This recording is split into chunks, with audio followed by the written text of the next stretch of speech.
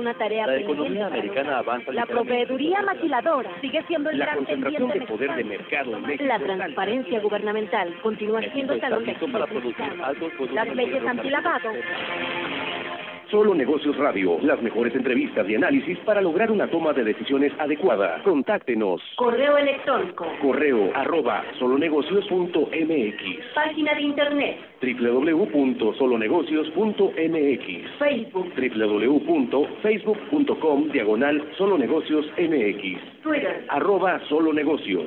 Y recuerde, no es nada personal, son solo negocios.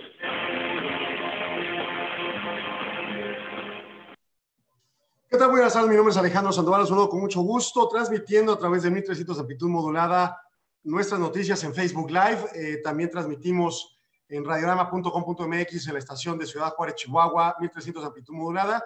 Y por supuesto en eh, pues lo que es eh, diversos am, medios, vamos a decir, de fanpages y redes sociales, como lo son eh, Facebook para Solo Negocios y MEF en Ciudad Juárez, y en su caso también eh, en lo que es, eh, transmitimos o, o- o terminamos emitiendo este programa en eh, pues lo que es YouTube, Twitter, LinkedIn, entre otras redes.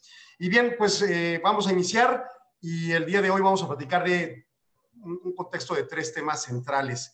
El primero tiene que ver con Prodecon y un contexto de situaciones que se están viviendo y que vamos a explicar en unos minutos. El segundo, indicadores macroeconómicos. Y el tercero, el radar jurisdiccional y legislativo de la ANADE, la Asociación de Abogados de Prensa, de Empresas, perdón, que también, bueno, pues tiene ahí información sobre nuestro acontecer tanto de iniciativas de ley como de el contexto de las decisiones jurisdiccionales de la Corte, ¿no? Bien, pues arrancamos con el tema de Prodecon y esto ya lo habríamos comentado, tanto el comunicado de IMEF hace un par de semanas, como de ANADE, como de varios otros organismos, que en su caso eh, plantearon por ahí la posición acerca de, uno, los nombramientos que se estaban proponiendo en terna por parte del presidente al Congreso y en particular al Senado para elegir quién va a titular, quién va a ser titular de la Prodecon.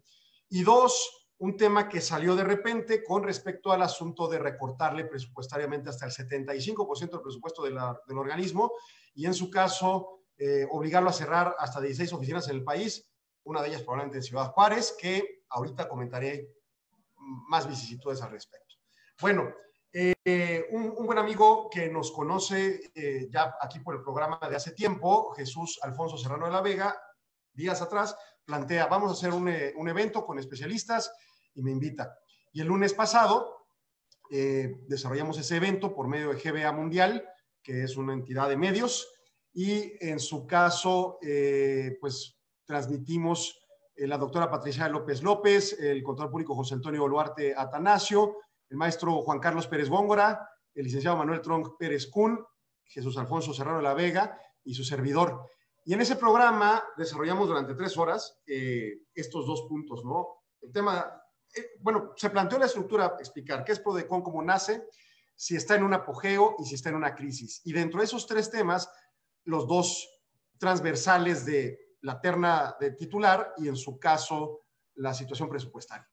Y bueno, eh, con mucho más conocimiento jurídico, incluso el propio eh, Juan Carlos Pérez Góngora fue el legislador en su momento, en 2004, si no me equivoco, que crea la Prodecon y que ciertamente durante mucho tiempo se queda este, sin operación, ¿no? O sea, quedó ahí en la ley, en el Código Fiscal, y en su caso, este, pues no, no operó, ¿no? Realmente nace presupuestariamente hacia el final del sexenio de Felipe Calderón, principio del sexenio de eh, Enrique Peña Nieto, y en su caso, pues obviamente con ello lleva eh, ese nacimiento que planteamos, ¿no? El tema de su titularidad y el tema de su estructura orgánica, pues de alguna manera es un tema que, pues me parece importante comentar sobre un punto concreto. Uno, ha sido varias veces acéfalo o encargado de oficina quien está como titular por no haber sido nombrado quien corresponda. Dos, ha tenido titulares que han engrandecido al organismo. Y tres, en un momento dado, este, pues creemos que eh, el planteamiento de, de, la titularidad es importante por, la, por el liderazgo que puede imprimir a un organismo realmente muy diferente a cualquier otra dependencia pública. Prodecon, la Procuraduría de la Defensa del Contribuyente, es una dependencia pública, es gobierno, en la visión de un individuo sin conocimientos jurídicos, probablemente sin conocimientos empresariales, incluso algunos empresarios que no tengan mucha idea, pues quizá, quizá para, para ellos el gobierno sea un todo, ¿verdad? Legisladores, este, Poder Ejecutivo, Poder Judicial, órganos autónomos y este tipo de órgano particular. En ese sentido, eh, bueno, pues obviamente destacamos una posición especial en su constitución jurídica. Es un organismo público descentralizado que tiene implicaciones presupuestarias específicas. Las entidades desconcentradas son más atadas a su unidad superior. Las descentralizadas, por ejemplo, el IMSS, operan prácticamente como guion propio, con dependencia a, ciertos rubros. El Seguro Social, tanto a la parte eh, de, la, Secretaría de, de Hacienda y Crédito Público, la parte que corresponda en un momento dado a cuestiones fiscalizadoras y la parte laboral vinculada en la Ley Federal del Trabajo a la seguridad social, a, lo que importe a la salud del trabajador, según la ley propia Federal del Trabajo, en la Secretaría del Trabajo y Previsión Social. Entonces, en esa tesitura, pues encontramos, y, no son, y, el IMSS no depende propiamente de estas dos secretarías que comento, o sea, es una entidad descentralizada que existe en el gobierno. Está el gobierno ejecutivo, sus secretarías y descentralizadas aparte, pero con vínculos a esas otras. Bueno, en esa lógica, el, el, la Prodecon es descentralizada, pero además tiene otro concepto extra, es sectorizado. Es una descentralizada sectorizada al mundo contribuyentes, al mundo fiscal para los contribuyentes. Y bueno, tiene una estructura jurídica muy interesante en su legislación que en su caso, bueno, pues este, lleva a pensar que se confiere realmente como un ombudsman muy similar a la, Comisión de Derechos Humanos, sea estatal o, la nacional, defensor de los derechos humanos de los contribuyentes, ¿no? A defender al contribuyente. Y tiene limitantes. Básicamente hacen tres servicios de manera enunciativa genérica, asesorías, quejas y representación legal. En asesorías es como suena. Tiene usted una duda fiscal, cómo se construye una declaración, cómo se hace una contabilidad, cómo se, se toma la decisión de registrarse en el fisco federal y ellos te pueden dar respuesta. Tienen los conocimientos y, la obligación jurisdiccional para que hagan esa respuesta. En quejas son, eh, pues digamos, estos instrumentos jurídicos con los cuales se cuestiona la autoridad por determinada situación. Oye, no me has notificado tal cosa. Oye, no, oye, me notificaste mal tal cosa que no tenga que recaer en un litigio. Y entonces, en esa lógica, de alguna manera encontramos a la PRODECON como una entidad a la que se le puede preguntar y que te da respuestas especializadas en materia fiscal, no importa el tamaño de tu operación económica, no importa si eres un contribuyente incluso o no, porque platicaba con Luis, Eduardo este, Rodríguez Amano, quien es el, este, delegado aquí en Chihuahua, y me dice, tenemos mucha interacción con los acontecimientos de los PAMA, los procedimientos administrativos de materia aduanera, que alguien tiene un coche fronterizo, pide un permiso para entrar al país, por ejemplo, regresa, se le olvida entregar el permiso, no lo hace de mala fe, no intentó este, venderlo y tiene multas y de repente embargos y cuestiones ya muy complejas. Bueno, en esa lógica, eh, esa persona que quizá ni siquiera sea contribuyente es el dueño de un coche, quizás es una ama de casa, quizás es una persona que ya es pensionado o es un empleado que no, contribuye, que no es contribuyente directo, sino indirectamente por medio de su trabajo al fisco y, tiene esta afectación por la aduana. Y entonces Prodecon te ayuda, te defiende. Y eso viene al ulterior servicio, la representación legal, en donde se convierten en tus abogados. Oye, ¿cuánto cuestan? Nada, porque como pagamos impuestos al país, mal, y algunos no los pagan y lo que gustes, pero con ese recurso se, construye el presupuesto de Prodecon. Y entonces donde hace sentido que paguemos impuestos porque hay servicios a cambio. Bien, en esa lógica, esos, esos servicios son solventados de manera gratuita con ciertos límites en la representación legal. Sí, si el asunto es superior a 30 salarios mínimos vigentes del Distrito Federal o Ciudad de México hoy en día, que son más o menos 900 mil pesos, pues si es superior ya no te defiende. Te puede asesorar y te puede promover la queja, pero no te puede defender. Si son inferiores a esos 900 mil pesos, entonces sí te puede defender. Y entonces, ¿a quién defiende la PRODECON? Pues a la gente con menores ingresos o que sus conflictos son de bajo cuantía. Puede ser una empresa grande, pero tu multa es de 50 mil pesos, de 500 mil pesos, y te puede defender la PRODECON. O sea, PRODECON te va a evaluar en razón de que si tienes o no tienes dinero, si eres pobre o si eres rico, o si eh, eres categorizado micro, pequeña o mediana o grande empresa. No, te va a categorizar en función a propiamente si tu asunto tiene una cuantía superior a ese límite. Bien, en esa lógica, la discusión que llevamos fue cómo nació y luego hay apogeo, pues creo que coincidimos en diferentes maneras de ver las cosas los, miembros de este panel. Este, y, bueno, pues lo cierto es que en, en esa lógica de coincidencias con las diferentes versiones de los panelistas, llegamos a que sí, Prodecon ha estado en apogeo que, respaldado con la estadística que me brinda Luis, Eduardo Rodríguez Sámano de, de, Prodecon aquí en Chihuahua, crece Prodecon Chihuahua en sus servicios hasta en un 40% anual. O sea, nada más pensemos, yo tengo un restaurancito, ¿cuál es mi crecimiento anual? No, pues quizá 10, 15%, 20% en algunos casos de ventas, servicios. Prodecon está creciendo a 40% porque cada vez más gente la conoce. Y ciertamente este tipo de dependencias, y yo lo equiparé con Conducef, no son muy conocidas, pero de voz en voz, de boca en boca, se van dando a conocer y llevan a que tomen determinaciones las personas de utilizar esos servicios, aunque sea mínimo con una asesoría básica o aunque sea en una representación legal, en donde además tienden a tener buenos resultados. En el híbrido de los tres servicios está una posición con respecto al SAT que se llaman los este, acuerdos conclusivos que es buscar sentar a la autoridad que te está sancionando con el contribuyente y como una especie de mediador a la PRODECON. He participado en algunos y créame, es súper funcional. Porque si bien si terminas pagando impuestos, porque pues, tenemos que pagar impuestos, 31 fracción cuarta constitucional, no hay más que decir, pero ciertamente a veces lo, lo complejo del sistema fiscal, lo propio complejo que podamos llevar nuestras empresas, que eso es culpa más del empresario, pero ahí está y lo limitado presupuestariamente que tiene, por ejemplo, el Servicio de Administración Tributaria para poder atender tantos eh, contribuyentes y auditarlos o fiscalizarlos, llegan a ser tales las madejas de comprensión de los datos que se toman malas decisiones en la autoridad y te sancionan exuberantemente respecto a lo que originalmente y de manera correcta debió haber ocurrido. Y se requiere de un tercero que diga a las partes, vamos a sentarnos, platiquemos, ¿Cuál es tu opinión? ¿Cuáles son tus pruebas? ¿Cuál es tu situación? Te pregunta Prodecon a, a ti como contribuyente y le cuestiona a la autoridad lo correspondiente. Y se llegan a acuerdos y se paga lo correcto.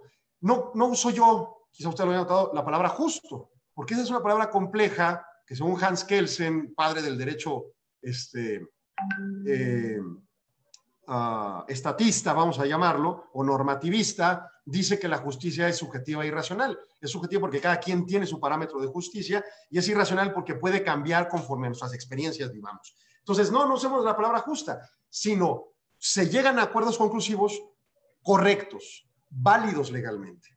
Y, entonces se convierten en eficaces, o sea, cumplidos. Y entonces, ¿ha, ¿ha ayudado la Prodecon al SAT? Sí, y hay quien lo critica, pero también ha ayudado a los contribuyentes a que hagan correctamente las cosas. Y eso es funcional. Tengo que ir a corte en la radio, sigo aquí en redes sociales, no se vaya, sigan solo negocios. Entonces le digo, este, el, tema de Prodecon es bastante funcional, es una de estas dependencias, aún en una perspectiva capitalista, liberal o si quiere usted neoliberal, es deseable. Porque tenemos que atender al número de empresas que hay en el país, 5.440.000 empresas, 15.000 grandes, Todas las demás son medianas y la gran mayoría son chicas. O sea, el 97% de esas empresas, 5 millones 400 mil empresas deberán rondar más o menos o un poco menos, son pequeñas y medianas empresas con menos de 50 empleados, menos de 30 empleados en una de esas. Son empresas que seguramente sus sanciones jamás van a superar los 900 mil pesos o muy pocas veces. Por lo tanto, son el cliente ideal, el, el ciudadano ideal para ser atendido en Prodecon. Y si pones un liderazgo equivocado, que no comprenda la materia fiscal, que no esté preparado técnicamente para atender la materia fiscal, y, por tanto anidar a los buenos abogados fiscalistas que puedan ocupar esos cargos eh, como funcionarios de la PODECON y, llevarlos a que tomen buenas funciones laborales en su ejercicio y decisiones en su caso, y paralelamente, sin presupuesto, pues ¿cómo puede operar esta entidad? Para colmo, por ley, el presupuesto no puede bajar. Así como con los sueldos en materia laboral, es la ley federal del trabajo. Tú no puedes bajar el sueldo de un empleado. Si por convenio se hace un ajuste, órale, y normalmente te requerirá, o, lo correcto es que te requiera un tiempo determinado cuando vuelvas al salario normal. Por ejemplo, en este escenario de pandemia se han hecho muchísimos convenios para bajar salarios o bajar jornadas, pero es una cuestión temporal. Pero si te vas al artículo correspondiente en la ley, en la ley de Prodecon, la ley que construye la Procuraduría, dice claramente el presupuesto nunca podrá ser inferior al del año pasado y tendrá que subir. ¿Por qué? Porque tiene que llegar más atención, ¿no? 15 segundos para entrar y volvemos ya al, aire en, en, solo negocios radio. Creo que ya es. Continuamos en solo negocios. Ahí estamos en, en el jingle. Y bueno, regresamos. Y pensaba ya dejar el tema de Prodecon, pero me falta, ¿no? Entonces, el tema del programa, que además le voy a dejar el link ahorita en las redes sociales para que si lo quiere ver, dura tres horas, es, largo, es complejo, son muchas opiniones jurídicas, sobre todo de Manuel Trump Pérez Cun, Juan Carlos Pérez Góngora, que si bien él no es abogado, él construye la legislación como diputado en su momento, Jesús Alfonso Serrano de la Vega, que ya lo conoce como abogado aquí, que nos ha ayudado en el programa, Patricia López López, que también como abogada, y en su caso José Antonio Duarte, que es contador, pero que además trabaja con el legislativo en la federación y tiene contacto con los diferentes representantes, ya sean senadores o diputados, y pues nos ha ayudado también a hacer llegar nuestra voz con ellos. ¿no? Para colmo, tenemos este tema del amparo con interés legítimo que el año pasado tuvo mucho auge en razón de, recordar usted, el amparo que se promovió o la serie de amparos que se promovieron en contra de cancelar el aeropuerto, el nuevo aeropuerto de la Ciudad de México, este, Internacional de México, el NAIM de, del agua de Texcoco, en restringir la iniciación de la construcción del aeropuerto de Santa Lucía, que termina siendo el nuevo aeropuerto, en, em, en, el tema de Dos Bocas, de la refinería, en el tema del Tren Maya, que, ha tenido una forma en la que el ciudadano puede levantar la mano y decir, oye, este Poder Judicial de la Federación, yo no estoy de acuerdo con esa obra pública o con esa asignación presupuestaria o con esa determinación de autoridad. Y soy un ciudadano mexicano, con eso tengo un interés legítimo, no tengo un interés jurídico directamente vinculado con el acontecimiento, porque pues, yo no vivo en la Ciudad de México. Es más, quizá nunca haya volado y ni me interesa volar en avión, pero me interesa que haya un buen aeropuerto en la Ciudad de México y entonces, como ciudadano mexicano, ese interés legítimo me faculta para poder intervenir en estas determinaciones. Bien, no prosperaron esos amparos, pero pusieron muestras de cómo sí, en un marco democrático, más allá de elecciones, podemos tener participación. Bien, hace unas semanas, algunos abogados interpusieron eh, amparos en contra de la terna propuesta por el presidente y buscando suspender que el Senado fuera a elegir de esa terna al titular, en función a que la consideración es que los, los tres candidatos no cumplen los requisitos legales que en general habla de ser abogado o carrera fin. ¿Qué es carrera fin? Es un concepto demasiado vago, pero bueno, se entiende a la postre cuando señala el concepto ser especialista en materia fiscal con experiencia de al menos, eh, creo que tres años, no me acuerdo. Ninguno de los tres tienen ninguno en su currículum presentado, ningún planteamiento fiscal, o sea, ni una asesoría por ahí privada, ni mucho menos.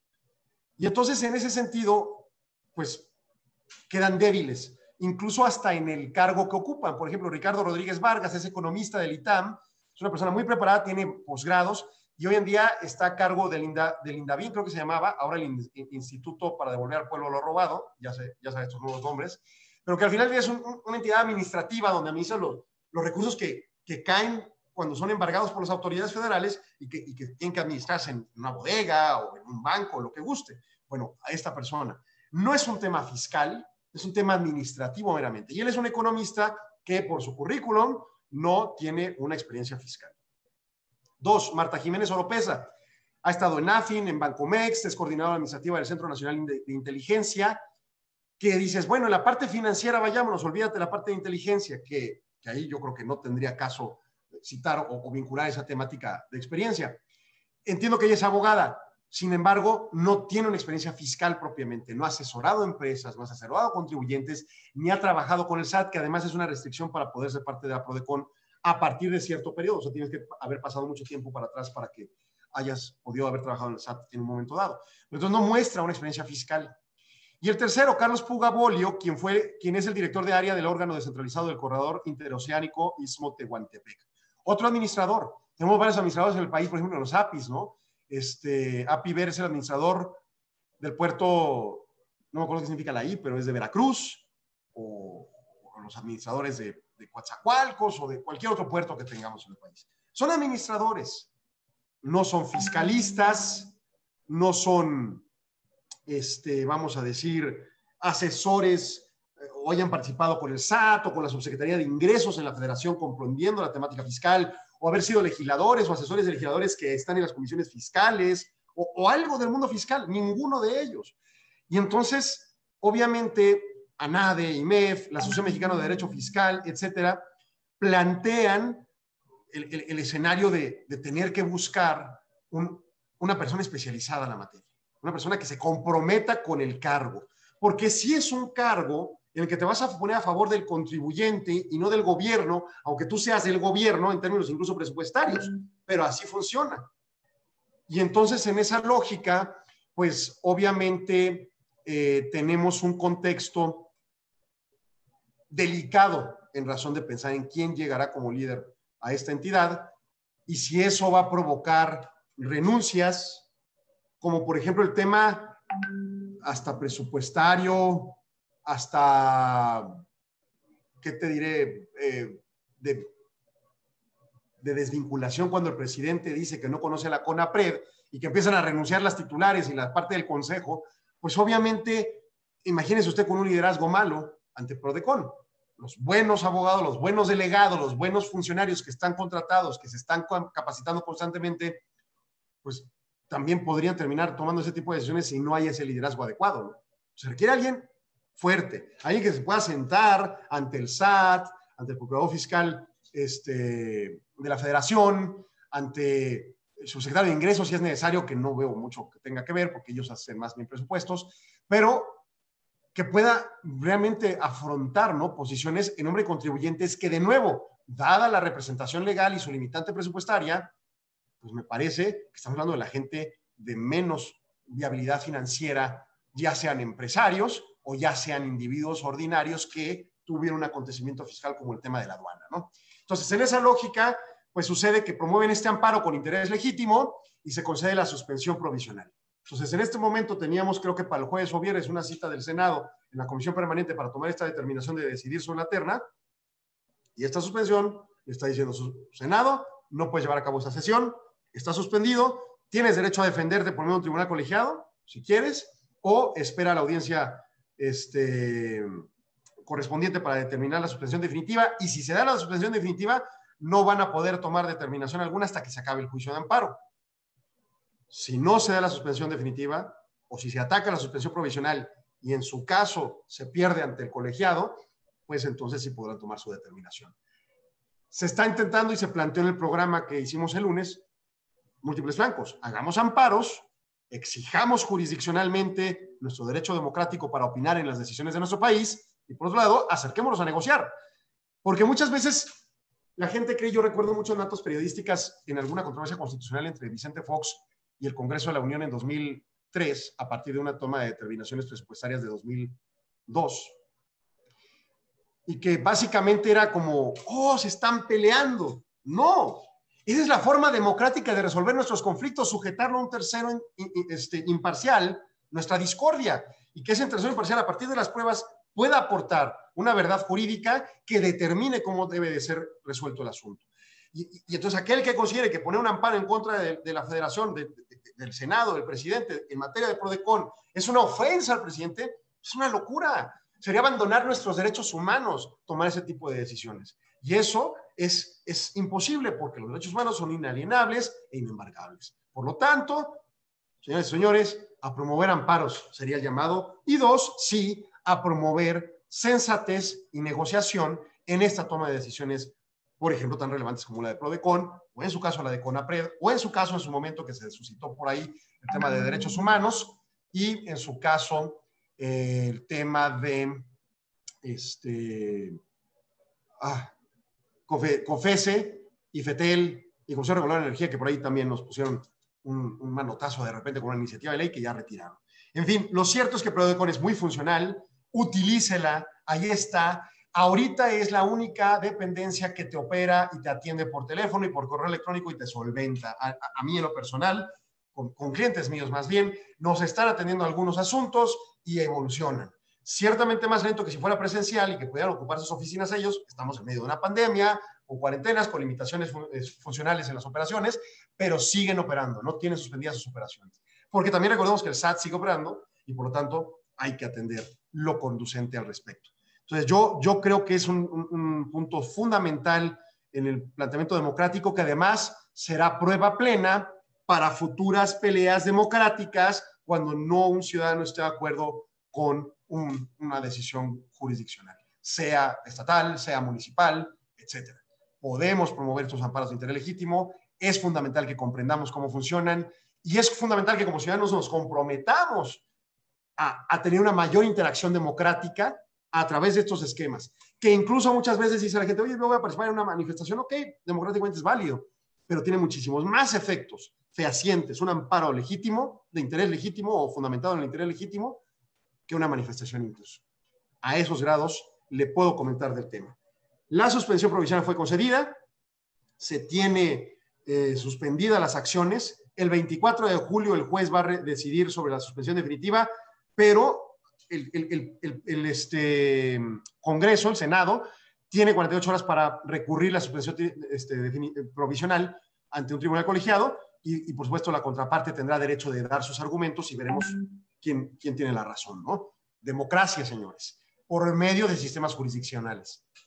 Ello es un, un, argumento de peso en otro tema diferente de la famosa reapertura de juzgados aquí en Ciudad Juárez, que tanto se ha exigido por grupos de litigantes y que no se ha atendido. La justicia es una actividad esencial y es fundamentalmente el mecanismo democrático para que resolvamos las, las controversias entre ciudadanos, entre ciudadanos y gobiernos. Yo tengo que ir a un corte, no me ha indicado Arturo, pero Arturo, si me puedes mandar a corte para que regresemos con otro tema y este y salgamos y, y regresemos ahí más rápido, ¿se puede? A ver si, si me mandan los comerciales.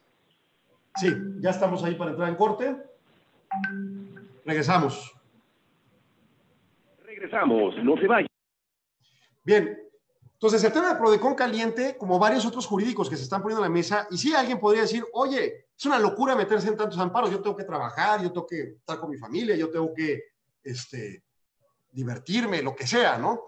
Bien, pero como ciudadanos, pues somos los dueños del changarro, y entonces tendríamos que tener una, una posición más, más formal al respecto. Además, se pueden hacer colectivos, o sea, nomás puedes firmar y, y ya participas en el amparo, ¿no? Entonces, yo recomiendo que se tomen determinaciones correspondientes, no solo contra el tema de Prodecon, que es fundamental a mi punto de vista, no solo para contribuyentes o empresarios, sino para en general, incluso empleados, declaraciones anuales que no te regresan tus impuestos, etcétera, y, demás, ¿no? Entonces, por ahí hay mucho tema que discutir y, este, y que considerar. Voy a regresar ahorita con indicadores, vámonos a la parte de coyuntura macroeconómica, y, y con ello avanzar el programa explicando nuestro contexto.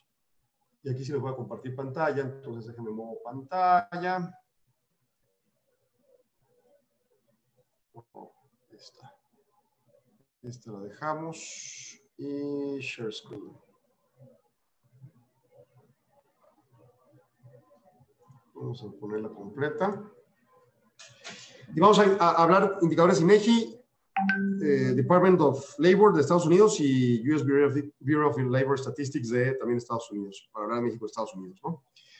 15 segundos para el aire y ahí estamos ya por entrar. Ahí se invitaron los participantes. Ahí estamos.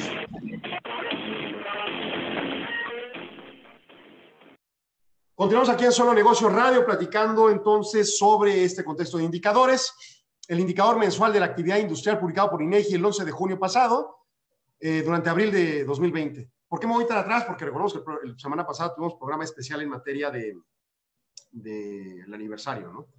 ¿Qué ha pasado con la actividad industrial? Pues cae 25% real en abril respecto un mes atrás. O sea, pues en abril cerramos las operaciones, cae 25%, quiere decir que sí hubo operaciones abiertas, pero pues el, el extremo de la caída, ¿no?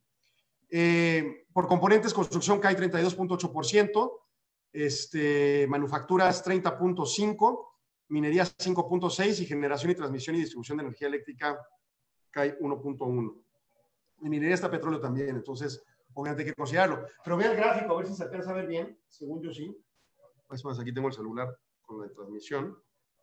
Y aquí más o menos, donde se mueve el mouse, este, se va la caída en, en tendencia, que es el, la tendencia ciclo, la raya roja, digamos, y las barras verdes son el resultado del mes. Vea la caída abrupta del indicador completo este, en solo ese mes. Y pues es simple y sencillamente consecuencia de la, de la cuarentena, ¿no? O sea, no, no hay más que decir al respecto, aunque por supuesto de manera subyacente y una dimensión inframinúscula están todos los temas que hemos estado discutiendo con respecto a la temática eh, vinculada a la ralentización del 2019, ¿no? Aquí los resultados en cuadro. Indicador mensual de actividad industrial, cae 25.1 eh, mes a mes, 29.6 um, en razón de lo que es el anualizado. Y bueno, pues vámonos a industrias manufactureras que nos interesa mucho en Juárez, 35.5 anual a la, a la baja, construcción 38.4 anual a la baja. Entonces, sumamente golpeado nuestro sector secundario y pues ni modo, a darle. Luego nos vamos con el sector manufacturero específico publicado para 18 de junio. Y también este nos dice que para el mes de mayo, este es eh, mayo, si no me equivoco, este, ah no, abril, perdón, baja 1.9% respecto al mes anterior.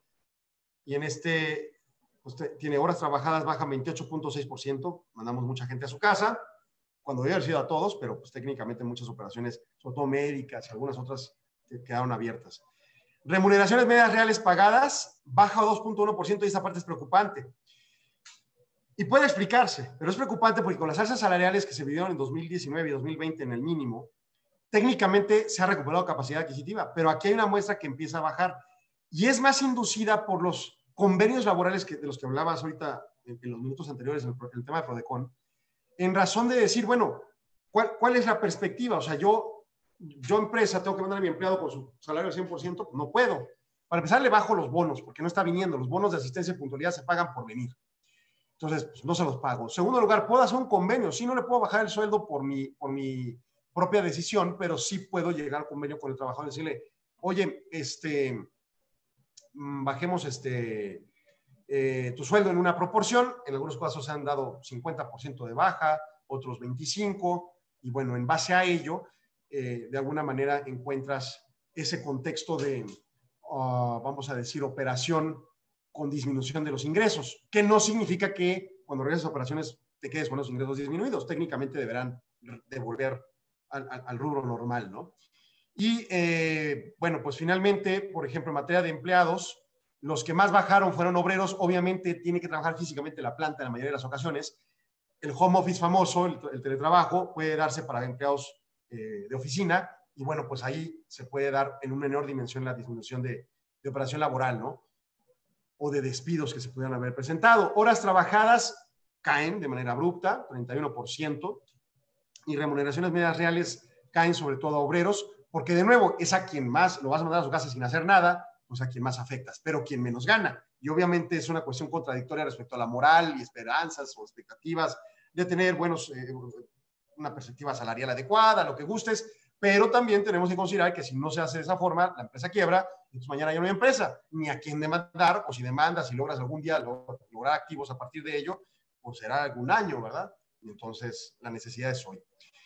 Luego viene el indicador trimestral de ahorro bruto. Este es otro tema interesante eh, el, el, el, ITAB, le podríamos llamar, baja 3.3% en el primer trimestre del 2020 frente al trimestre inmediato previo. Eh, por componentes, el ahorro de economía interna aumentó 3.7% y los requerimientos de ahorro precedentes, procedentes del resto del mundo para financiar economía fueron negativos. O sea, esta lectura básicamente habla el sector externo el extranjero saca recursos ahorrados o invertidos en México, sobre todo en mecanismos bursatilizables, y el mexicano ahorra más. Y usted dirá, qué bueno, qué bueno que no dependamos del exterior. Aguas, no pida lo que no quiere que pase. Dependemos mucho de ese exterior y nuestros dólares se pueden depreciar demasiado caros eh, en caso de que salgan demasiados dólares. Y eso pues nos llevaría a inflación y la inflación nos aniquila la capacidad adquisitiva. Dos, el hecho de que los mexicanos estemos ahorrando más, si bien suena positivo, realmente es en función a la cuarentena y a la expectativa de quedarte sin empleo o sin ingresos por mucho tiempo dada la cuarentena y la recuperación o la reactivación económica. Y en esa lógica, pues realmente estamos en un entorno de mucha incertidumbre. Todos los días que tengo oportunidad de platicar con amigos periodistas, me cuestionan, ¿no? Y el tipo de cambio subió, se va a quedar así o va a bajar. Oye, eh, la gasolina subió, se va a quedar así o va a bajar, etcétera. No hay manera de dar una respuesta en términos normales cuando no hay pandemias ni situaciones como estas. Pues menos hoy que estamos en la crisis económica más grave que la humanidad ha vivido, según la, información documentada que tenemos disponible. No hay manera de, explicarlo de otra forma. Si a usted no le ha pegado duro en este momento la recesión, qué bueno y ojalá no le pegue, pero lo más probable es que sí lo golpee. Y a quien los golpee, los va a golpear durísimo. La este, no es la CONAPO, olvidé el nombre de la comisión de, que hace análisis sobre la pobreza, trae un indicador que van a subir 10 millones de personas pobres al, indicador de pobreza en nuestro país. 10 millones de 130 millones, estamos hablando poquito, más del 7-8%. Es grave que ese tipo de efectos pasen en un país presuntamente en desarrollo, ¿no? es grave destacar tantas debilidades, sobre todo en la parte de laboral, eh, donde tienes 30 millones de 50 millones eh, de informales en operaciones, ¿no? Y, que por lo tanto no tienen seguridad social, ni ahorros, ni afores, ni infonavits, ni nada. Y entonces, obviamente, es una situación sumamente débil para el país. El que se está, estuviese ahorrando en este primer trimestre, en mucho tiene que ver a ese temor de enfrentamiento futuro y por tanto va a bajar el ahorro porque se va a tener que echar mano de él para esta gente que entre en esta problemática. Son indicadores de advertencia. Aguas. Vienen golpes mucho más fuertes. Nos vamos ahora al indicador de empresas constructoras del 22 de junio, lunes pasado, y la INEC nos muestra información para el mes de abril, baja 19%, y tenemos esta caída también abrupta pero aquí sí vemos una gráfica que viene cayendo desde 2015, 2016, con algunos picos de repente que se llegaron a lograr, pero la tendencia es negativa, claramente. Y esta pauta de abril y seguramente mayo, pues no va a ser la excepción de, profundizar esta línea roja de tendencia de ciclo, que, sea, que se caiga de manera abrupta. Y, luego nos vamos a, las tablas de desglose el valor de producción, como digo, 32.1% a la baja, personal ocupado baja 19.4%, estos indicadores son anuales, el de la izquierda es este, mensual. Eh, personal, 19.4 a la baja, ¿no? Y, luego te vas, quienes son dependientes, o sea, empleados directos, los obreros los más golpeados. De nuevo, el, empleado administrativo, oficinista, arquitecto, ingeniero, puede hacer mucho home office en un alcance cierto, ¿no? Los que son no dependientes, pues outsourcings, 11.7%, o subcontrataciones por subcontrataciones eh, contratistas, ¿no? Hay constructoras que tienen un proyecto y que de repente subcontratan varias partes de la construcción y, y ahí entran estos de no dependiente de razón social. Horas trabajadas, 22.8%. Técnicamente la construcción debe haber también ido a cuarentena a reserva de las predilectas del presidente, como Dos Bocas, Tren Maya y este, el aeropuerto de la Ciudad de México pero este, muchas otras constructoras siguieron operando de manera, pues medio, uh, sin hacer ruido para evitar sanciones de, de, clausura, pero cierto es que tenían que seguir operando, ¿no? Para sobrevivir. Y remuneraciones medias reales también a la baja. De nuevo, sigue causando tema que se explica por los convenios, pero que también puede tener implicaciones de que en realidad hay un problema de que ya no va a subsistir la, la posibilidad de mantener los sueldos hacia adelante. ¿no? veremos. Y también tenemos, bueno, el, la inflación, ¿no? Inflación cierra con un 0.32% respecto a la quincena inmediata anterior y anualizado 3.17%. Empieza a tender al alza poco, poco a poco. Preocupa. Sí, el año pasado fue más alta. Estamos en una recesión. La demanda es baja. Incluso ello técnicamente llevaría a que no se movieran los precios, pero como caen las, las competencias, porque cierran empresas y cierran competidores, pues se puede dar el lujo en algunos casos de, de mover algunos precios hacia arriba. Y aquí puede haber algún reflejo de ello. Parte subyacente, o sea, la no volátil, que son bienes y servicios, 0.29% al alza, con 3.66, medio estable respecto a meses previos, y 0.39 en la no subyacente, la que es volátil, energéticos y agropecuarios, con 1.63 anualizado. Y vámonos a tablas y, y este y gráficos. Válgame, se congela la pantalla. Pero ciertamente mayo fue un muy mal mes en función a la condición de haber resultado positivo cuando los machos, mayos de, década, de una década hacia atrás siempre eran negativos, ¿no? Entonces, pues por ahí llamó la atención. Aquí vemos valores quincenales de años atrás. Este es el más alto para esta quincena, punto 3 en, en 2018, punto 01 en 2019, punto 32 esta quincena pero en el anualizado baja porque teníamos influencias del famoso gasolinazo en 2018 y, y de los problemas técnicos con, con, el tipo de cambio a partir de las discusiones del Tratado de Libre Comercio este, en 2018 y e influyendo hacia 2019. Y bueno, pues realmente en el anualizado todavía se, se ve un poco más bajo, ¿no? Eh, vámonos por producto. Bueno, este es el gráfico de los últimos 10 años en este mes y obviamente es el más alto les digo, empieza a generar una ligera preocupación que debe llevar atención al Banco de México en materia de su decisión de este, tasas de interés. Y te explico por qué. No, esta no es la tabla que quiero. La que quiero es la siguiente, es esta gráfica de tendencia. Esta tabla. ¿Qué subió más? Transporte aéreo. Pues empezaron a salir las aerolíneas, aerolíneas y movieron sus precios, ¿no? Es lógico. Naranja, 10,85% también tuvo una implicación. Eh, gasolina de bajo octanaje, 2,95%. Ha estado subiendo la gasolina. El petróleo ha estado subiendo, andan 40 dólares el barril, estábamos en 18. Pues claro que está bien, ¿no? Es más, creo que vamos a estar cerca de 10 aquí en el, mexicano, ¿no? Eh, otro alto, arroz 4.46%, zapatos para hombre 4.52. ¿Qué bajó más? Chayote bajó 13.22, chile serrano bajó 13.65, limón bajó 9.77, jitomate 6.26, cerveza después de ajustarse al alza volvió a bajar, que hay competencia, no hay problema, y adelante. Y las ciudades más inflacionadas, pues las del sur, ¿verdad? San Andrés, Tuxtla, Veracruz 1.08, Veracruz, Veracruz 0.99, Tuxtla, Gutiérrez, Chiapas 0.98. Las menos inflacionadas, Torreón, 0.46 a la baja, Monterrey, 0.36 a la baja, Tlaxcala, 0.23 a la baja. Aquí aparece Ciudad Juárez en las primeras 10 con 0.02 a la baja. Y antes del corte me voy al último reporte que mañana se actualiza de materia del Departamento de, de Trabajo y este, de Estados Unidos y nos habla que para el 13 de junio las solicitudes iniciales por desempleo fueron de 1.500.000 con una caída de 58.000 respecto a la semana previa, ya revisada. La semana previa fue revisada hacia arriba en 24.000 unidades, hacia 1.566.000 solicitudes. El promedio móvil de cuatro semanas fue de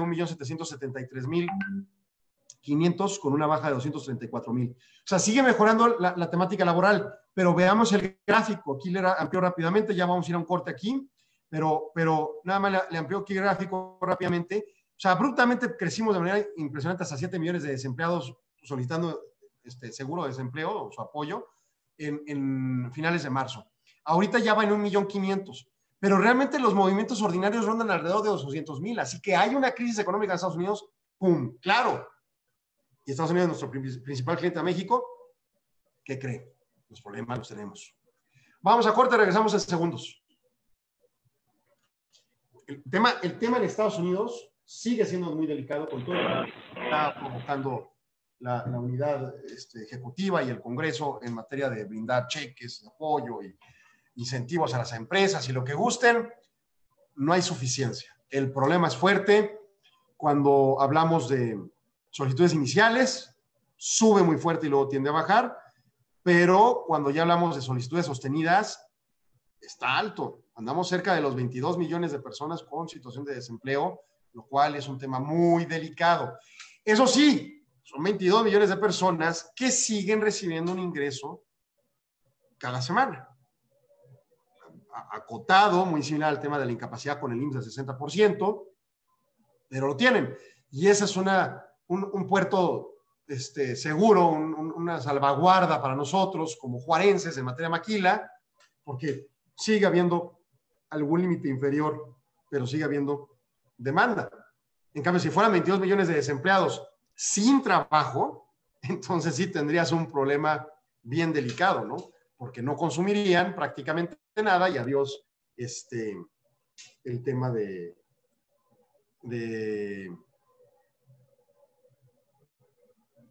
el tema, el tema correspondiente, perdón, de consumo para o de demanda de órdenes de compra maquila, ¿no? Entonces, delicado. Ya vamos a entrar al último segmento, vamos a hablar de, de ANADE y de este radar legislativo. A ver si ya me dan bueno, la plática amena, cordial y amable. 15 segundos. Um, Vamos a ver cuáles son los más interesantes. Iniciativas de ley del 15 al 19 de junio. Uh, déjeme bajo un poquito el tamaño, aunque nada, está bien. Sí la leemos. Bueno, ahí estamos. Solo Negocios Radio.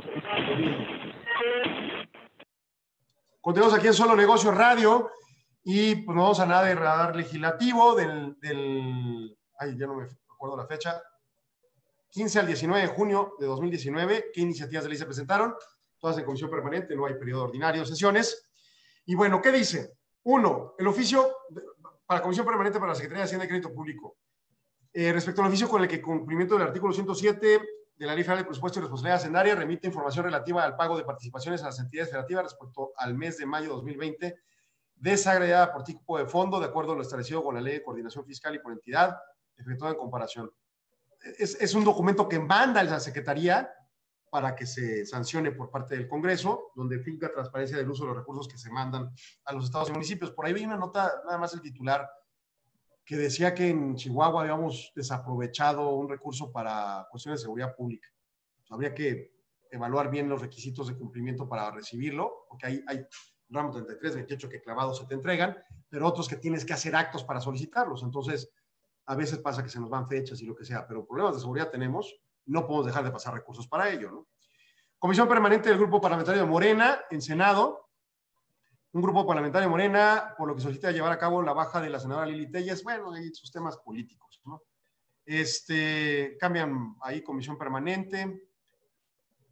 Y bueno, pues esas son muy generales. Coyuntura nacional. No veo una interesante iniciativa. Materia ambiental, vamos. Samuel García Sepúlveda, senador de Movimiento Ciudadano, plantea proyecto para decretar artículo 175 bis de la Ley General de Equilibrio Ecológico y Protección al Ambiente, que tiene como objetivo fortalezcan apoyos económicos para la protección, preservación y restauración de áreas naturales protegidas. Mismos obtendrán de multas y sanciones que pagarán quienes realicen acciones en perjuicio del ambiente y recursos naturales. Hay que ver la constitucionalidad de este tipo de actos. Muchas veces estas sanciones son genéricas y, y constitucionalmente no se pueden dirigir a algo en particular, pero pues, puede tener lógica, ¿no? Que las mismas sanciones nutran al apoyo de quien prevé la protección de las áreas naturales protegidas. Se hace una propuesta uh, del senador Santana Armando Guadiana Tijerina de Morena para que se exhorte a la Secretaría de Energía y a Pemex para que lleven a cabo reconfiguración de refinerías Tula, Salamanca y Salina Cruz para incrementar la producción de petrolíferos. Tenemos que acortarla, señores. Este, si no, el precio del petróleo va a bajar y el presupuesto va a golpearse. No inventen tonterías. Eh, Erasmo González Robledo, eh, a nombre de diputados Mario Delgado y Carrillo y Daniel Gutiérrez Gutiérrez de Morena y del Partido Encuentro Social, proyectan una iniciativa que tiene por objeto determinar el Estado podrá contratar adquisición de bienes o prestación de servicios para la salud con organismos intergubernamentales internacionales cuando se concluya que la licitación es la vía idónea para asegurar al Estado las mejores condiciones. Digo, entiendo el concepto de organismos intergubernamentales internacionales, pero si los clarifican mejor en su iniciativa con el propósito de que sea transparente, porque no va a ser que el hijo de algún director de alguna paraestatal, que ya no se llaman así, sino empresas productoras del Estado, inventa uno en, Estados Unidos, organismo intergubernamental, y le dan un contrato sin licitación. Aguas con el tema. Qué bueno que pueda ser expedito el tema para la salud, pero aguas con el tema, ¿no? Ya, ya ha habido algunos temas ahí. Julián Rementería del, Rementería del Puerto de Acción Nacional dice que promueve agilizar procedimiento conciliatorio iniciado con motivo de una queja o reclamación ante cobros excesivos y por el otro crear área técnica especializada para emitir dictámenes o peritajes que serán otorgados de forma gratuita con cargo al presupuesto de la Procuraduría, así como este, obligación a cargo de esta realizar actividades de vigilancia focalizada, permanente y prioritaria de suministro de energía eléctrica a fin de evitar cobros excesivos. Ley Federal de Protección al Consumidor, Procuraduría este, Federal del Consumidor, ¿no? Bueno, pues ya ni tenemos en Juárez, según entiendo, de, dependencia directa. Sí hay algunas operaciones, pero bueno, agilizar procedimiento conciliatorio iniciando con motivo de una queja. Habría que ver cómo y reclamación ante cobros excesivos, ¿no? Este, habría que ver cómo, porque en realidad no es lento, ¿eh? O sea, vas, pones tu queja, se notifica al empresario y pues se hace la junta y, todo pasa dentro de un mes, ¿no?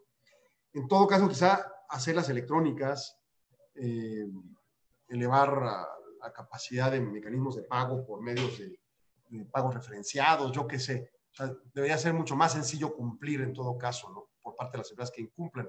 Y obviamente lo enfatiza mucho la Secretaría de Energía, perdón, el suministro de energía eléctrica, porque pues tenemos tema con, el, con la CFE de que de repente sí sube los precios de manera exorbitante. En frontera no tenemos tanto el problema en, en, consumo ordinario ciudadano de nuestros hogares o de empresas chiquitas, porque pues tenemos el famoso subsidio ¿no? del verano, pero ciertamente eh, hay tema, ¿no?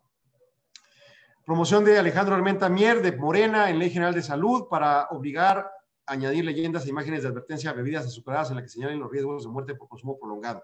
Obviamente tenemos este tema de que el COVID se ha ampliado mucho en función al...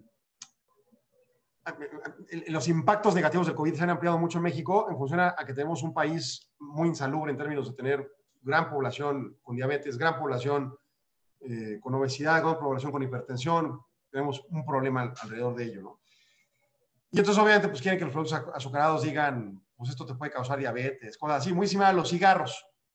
Es una función, puede ser, obviamente el sector empresarial no va a querer, vamos a ver cómo promueve ese tipo de temas, pero mucho tiene que ver más, más que impuestos, porque ahí está el IEPS, tiene que ver con un tema cultural, incluso hasta escolar, ¿no? y, en su caso el, inhibir la venta de productos chatarra, esos denominados de esa forma, en escuelas, que es donde empieza el tema del gusto del consumo de ese tipo de productos. Otras iniciativas, Mónica Fernández Balboa, Morena, sobre la Constitución para facultar al Congreso de la Unión a sesionar a distancia por motivos de salud, declaratoria de emergencia o desastre natural. A mí me parece esto bien importante, son de las primeras cosas que deben haber hecho desde abril o desde marzo, porque pues el que no esté regulado y que de repente sesionen y dictaminen una ley en Zoom y los hackeen peor, pero ya suponiendo que no los hackeen, este, puede traer temas constitucionales. Le reitero el problema del 13 de mayo, cuando en el diario oficial de la Federación se publica un decreto para la reapertura de empresas, luego lo tumban a las tres horas y luego por Twitter se piden disculpas. En términos jurídicos, en este momento sigue estando vigente el decreto del 13 de mayo. Es irregular porque fue emitido por autoridad incompetente y por lo tanto pues, no valdría. Pero si no hubiera tenido el problema de competencia, sería vigente y estaría en contradicción con el del 14 de mayo y, y pudiéramos aducir, por ejemplo, principios generales del derecho de primero en tiempo y primero en derecho u otras cosas, ¿no? Para quien le conviniera más aplicar el del 13 de mayo. Entonces, hay que hacer las cosas con cuidado. Y si apenas están regularizando el tema constitucional para que tengan sesiones formalmente válidas por medios electrónicos, híjole, pues da miedo, ¿no? Pero bueno, que lo hagan ya para que se haga la legislación correspondiente. Este, estos temas más moralistas que otra cosa, José Ramón Enríquez Herrera de Morena, que quiere modificar el cuarto constitucional para incluir el estado de bienestar en la constitución, que tiene definiciones técnicas, cierto, pero bueno, pues ya le hemos mangoneado tanto al cuarto y al primero que pues se pueden poner lo que quieran, ¿no? y pues no pasa realmente mucho. O sea, no sé, la educación es gratuita en México y a la gente le cobran. Eh, los mexicanos tenemos derecho a la vivienda digna, dice la Constitución, y hay quien vive en la calle, ¿no? Entonces, pues bueno, pónganle lo que quieran al cuarto. O sea, no es nada más prometer como legislador y, y levantar una bandera y cumplir, sino es encontrar los mecanismos de obtener los recursos para cumplir ese estado de bienestar en todo caso. Ah, Morena también promueve cuarto constitucional, ingreso básico otorgado por parte del Estado a toda persona titular de ciudadanía. ¡Pum! Ricardo Anaya is back. Bueno, esto es lo que discutimos en la, en la elección 2018 y donde Ricardo Anaya, como candidato del PAN a la presidencia, proponía el ingreso único universal, o básico universal, perdón. Y que en IMEF lo llegamos a discutir y decían, es que no es viable, no hay recursos con qué. Bueno, aquí lo está trayendo Morena. Y Morena ha llevado de alguna de las cosas hacia allá, ¿no? O sea, esta pensión universal para gente adulta mayor, eh, estas becas Nini, estos apoyos que existían y que se han reformulado mecanismos para acercarlos a, grupos agrícolas y a este, mujeres eh, vulneradas o vulnerables o, lastimadas, ¿no? En diferentes mecanismos de discriminación y violencia pues empiezan a universalizar el apoyo gubernamental. El, el asunto es que cuando hablas del IBU, ingreso básico universal, una de dos, o tendría que ser un ingreso demasiado básico para que medio alcance y no alcance realmente al final.